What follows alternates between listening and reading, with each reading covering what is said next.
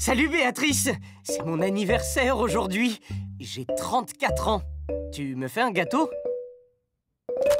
Oh Un cake au citron. Mmh, J'ai hâte de le goûter. Tu te souviens que ce citron, ou un citron, c'est masculin? Oh Ça va, Alban Cette pomme, ou une pomme, c'est féminin. Comment sait-on si un mot est masculin ou féminin, vous vous rappelez? On écoute bien le déterminant qui l'accompagne. Le, un, ce indique le masculin. La, une, cette indique le féminin. Allez, faites-moi un gros gâteau. Je vais inviter un ami et une amie. J'ai un ami garçon et une amie fille. Pour les différencier, on va écrire ami en ajoutant un E pour la fille. Vous avez besoin d'ingrédients pour le cake? Oh, Oh bah, je crois qu'il va falloir faire des courses. Alban, tu vas faire un tour chez l'épicier si c'est un garçon ou l'épicière si c'est une fille. Vous entendez la différence? Les féminins ne sont pas tous construits de la même façon. Certains noms font leur féminin en transformant le masculin. Le nom masculin terminé par IER devient IE accent grave RE. On ajoute un accent grave devant le R et un E à la fin. Bravo Mais on va manquer de farine.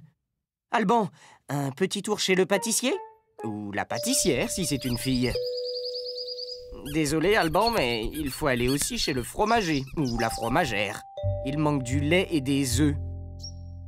Le nom masculin terminé par ER devient E accent grave RE. On ajoute aussi un accent grave devant le R et un E à la fin. Oh, ce n'est plus un frigo là, c'est un zoo Bonne nouvelle Alban, plus besoin d'aller chez le fromager ou la fromagère.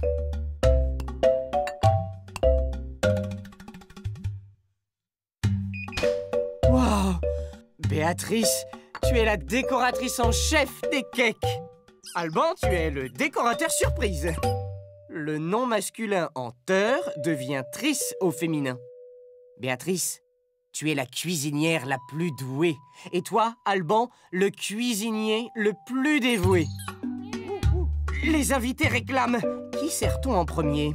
Le chien, la chienne, le chat ou la chatte? Qui veut cette part? Notre chien? Ok. Et maintenant, une part pour notre chienne. Vous entendez la différence? Comment écrit-on cela? Il faut deux N.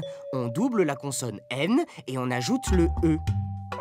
La prochaine part est pour... euh, ce chat Et la dernière part pour cette chatte. Vous entendez? Chatte.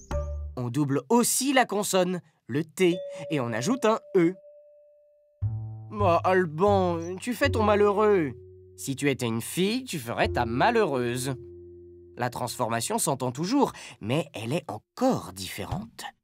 Le nom masculin terminant en EUX devient EUSE au féminin.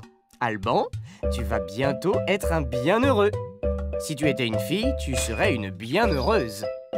Euh, vous me laissez une part?